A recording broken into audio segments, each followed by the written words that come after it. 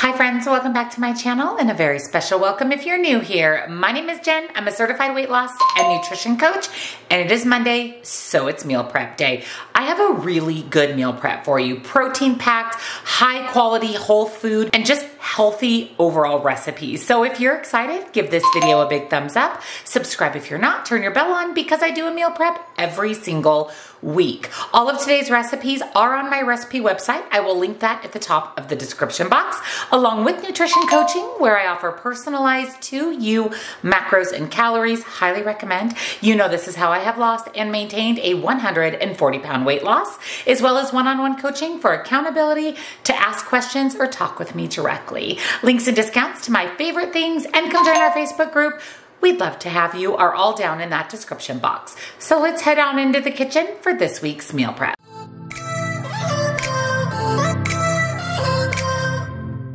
For breakfast this week, I'm making mushroom, spinach, bacon, egg cups. I'm shooting for a high protein breakfast.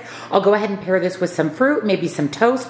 We'll see where the week goes, but let me show you what you'll need. So first you're going to need bacon of your choice. You can use fully cooked bacon, regular bacon, center cut turkey, whatever your preference is. This is what we have on hand. So I'm going to use the Costco brand of the fully cooked bacon.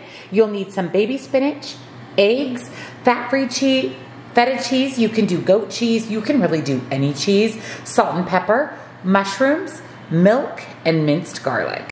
So I have my oven preheating to 400 degrees. We have a muffin pan and we're going to line 10 muffin cups with one slice of bacon. Just wrap that around the edge. It's okay if it overlaps a little bit. Just make sure that you leave that hole in the middle for us to put the eggs and veggie mixture.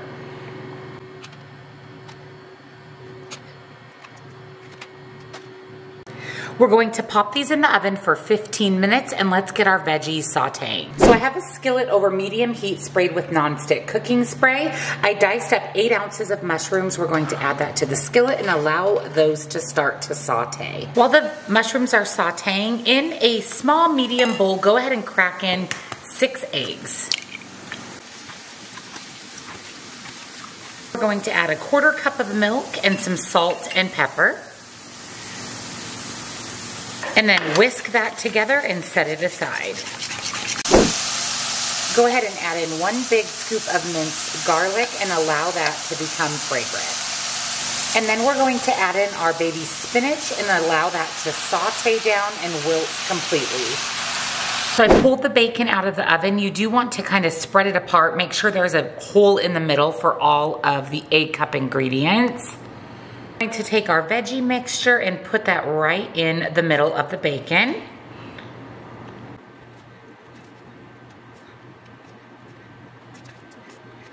Then we're going to scoop in the egg mixture.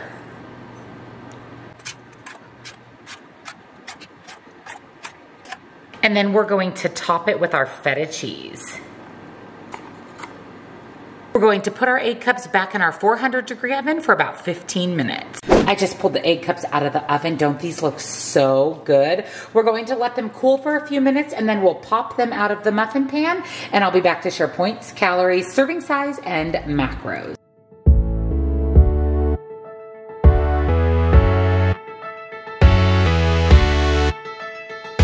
For lunch this week, I'm making blackened fish taco bowls with corn salsa. I'm so excited for this. So let me show you what you'll need. You can use any fish you would like. I'm going to use tilapia. This is what I have on hand. The recipe actually calls for mahi-mahi. You could do salmon. You can really do any fish of your choice. I'm going to substitute non-fat Greek yogurt in place of the sour cream in the recipe. You'll need lime juice, salt, and pepper, green onions, fresh cilantro, an avocado, red onion, a red bell pepper, frozen corn. Seasoning wise, you'll need paprika, garlic powder, onion powder, oregano, and thyme. And then the recipe also calls for cayenne pepper. I am going to omit that. And then I'm going to cook up some jasmine rice in my little dash rice cooker. I bought this off Amazon. I'll link it down below. And we're going to add some rice to our blackened fish taco bowl. So let's go ahead and get started. I have one cup of rice and one and a half cups of water in my little dash rice cooker. We're going to allow the rice to cook while we put together the rest of the bowls. So the first thing we're going to do is put together the corn salsa. So I added one, my full red bell pepper diced, half of a red onion diced, and half of a cup of chopped fresh cilantro. And then I'm going to add two cups or this entire bag of corn. You want to make sure your frozen corn is thawed. And then we're going to add a couple of tablespoons of lime juice and some salt and pepper. And then go ahead and stir that together. And there is the corn salsa. This looks amazing. I'm going to put some plastic wrap on this and throw it in the fridge. So to make the avocado cream, I added some avocado to my little blender cup. We're going to add one half of a cup of non-fat Greek yogurt. Again, you can use sour cream if you would rather. About a tablespoon of lime juice, one diced up green onion, and some salt. And we're just going to blend this up and it's going to give us a nice creamy sauce. Here is the avocado cream. I'm going to go ahead and put this into a bowl and set it aside. I'm going to put together the seasoning for our fish. So I'm going to start with about a tablespoon of paprika, about a half a teaspoon of black pepper, and half of a teaspoon of salt, about one and a half teaspoons of dried oregano, a teaspoon and a half of onion powder, teaspoon and a half of garlic powder, a teaspoon and a half of thyme, and of course you would add in about a half a teaspoon of cayenne pepper if you were using that. We're going to mix this together and this is the seasoning for our fish fillets. I have a skillet sprayed with some nonstick cooking spray. I have my fish fillets and I'm just going to rub some seasoning on each side and then place it in the skillet have my fish over medium high heat. We're going to cook it for about four to five minutes each side or until the fish is cooked through, it's opaque and it's flaky. So the fish is done. It looks and smells amazing. We have our corn salsa, we have our avocado cream, and I have my cooked rice.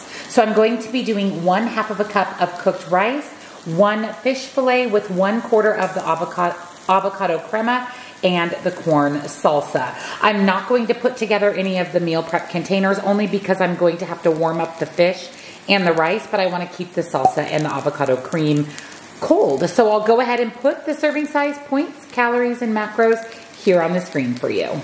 For snack this week, I'm making chickpea protein bars. Now I have a little twist on this recipe, but let me show you what you'll need. First, you're going to need a can of chickpeas, and you can see that I have cannellini beans. I swore these were chickpeas when I was putting together my grocery list, so I didn't buy any.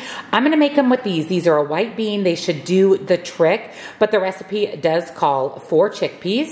You'll need some pumpkin seeds, reduced sugar craisins, vanilla extract, salt, Medjool dates, protein powder. Of course, I'm going to use Clean Simple Eats, simply vanilla protein powder. I love Clean Simple Eats everything. You already know it's my very favorite protein powder. It does great for baking as well. So I'm going to use one packet of Simply Vanilla.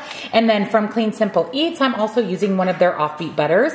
This is gingerbread cookie almond butter. I like this one because it has just a little bit of spicy flavor to it. I think it's going to pair really nicely in these bars and it tastes absolutely incredible. So both of these items are from Clean Simple Eats. I do have a 10% discount. I'll link it down below for you. So I added one half of a cup of dates. I did, of course, remove this the pit. And then I have my drained and rinsed can of cannellini beans. We're going to add one quarter cup of nut butter, about a teaspoon of vanilla extract, and a pinch of salt. And then I'm going to blend this up. We're going to add our packet of protein powder, a third cup of reduced sugar craving, craisins, and a third cup of pepitas. And then we're going to give it one more blend until a dough is formed.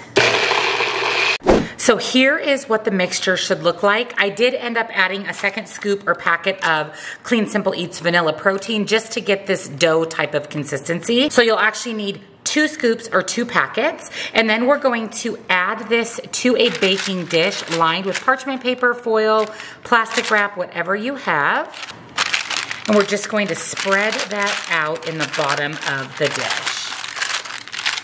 So you can either refrigerate your bars for about four hours or freeze them for about an hour until firm. I'm going to go ahead and throw these into the freezer and I'll be back to show you the completed bar and give you points, calories, macros, and serving size. So here are our bars out of the freezer. These smell and look so good. What a great pre-workout, post-workout snack or a little afternoon pick-me-up. I'll go ahead and put all the information for the bars here on the screen for you. Thank you for joining me for this week's healthy meal prep. I can't wait to eat these meals all week long. We are packed with protein, healthy carbs, fiber, healthy fat. It's going to be another really good week. So if you enjoyed the video, give it a thumbs up, subscribe, turn your bell on so you don't miss a meal prep or any of the other videos that I upload every single week. Don't forget my recipe website is at the top of the description box along with nutrition coaching, links and discounts to my favorite things, and come join our Facebook group. We'd love to have you. Happy Monday, friends. Here's to a successful week, and I'll see you in the next one. Bye.